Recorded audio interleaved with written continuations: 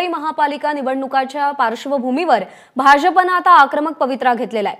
मुंबई पालिकेतल्या भ्रष्टाचाराप्रकरणी राज्यपालांकडे तक्रार दाखल करण्यात आलेली आहे. राणीच्या बागेतील प्राण्यांचे वस्तू बनवण्यासाठीच्या एकशे सहा कोटी कंत्राटाप्रकरणी भाजपनं राज्यपालांकडे तक्रार केलेली आहे. भाजपचे प्रदेशाध्यक्ष चंद्रकांत पाटील हे राज्यपालांच्या भेटीला गेलेले आहेत. शिवसेना आमदार प्रताप सरनाईक यांच्या छाबैया विहंग गार्डन्सच्या दंडमाफी विरोधातही आता भाजपनं आक्रमक पवित्रा घेतलाय.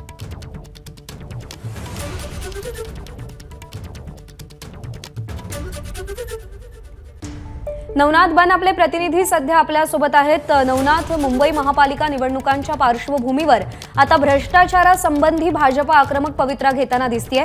भाजपची काय रणनीती दिसून येते सध्या?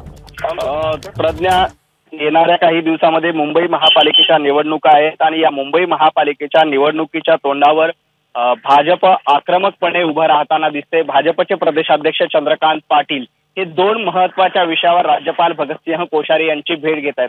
पहिला विषय आहे राणीच्या बागेमध्ये दुर्मिळ प्राण्यांसाठी एक वास्तू संग्रहालय उभं केलं जाणार आहे आणि त्यासाठी ते जे कंत्राट दिलेलं आहे त्या कंत्राटामध्ये मोठ्या प्रमाणात गैरव्यवहार होतोय.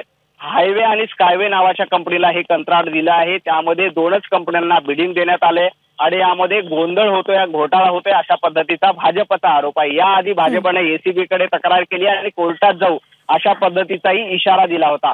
या प्रकरणात भाजपचे प्रदेशाध्यक्ष चंद्रकांत पाटील राज्यपाल भगतसिंह कोश्यारी यांची भेट घेत आहेत आणि या प्रकरणात कडक कारवाई करावी अशी मागणी करतायत दुसरी बातमी एबीपी माझाने दिली होती ती म्हणजे शिवसेनेचे आमदार प्रताप सरनाईक यांच्या विहंग गार्डनला करमाफी देण्यात आली होती. आणि आपल्याला माहिती आहे की तिथेही ठाणे महापालिकेची होती. आणि आपल्याला माहिती आहे की तिथेही ठाणे महापालिकेची निवडणूक आहे.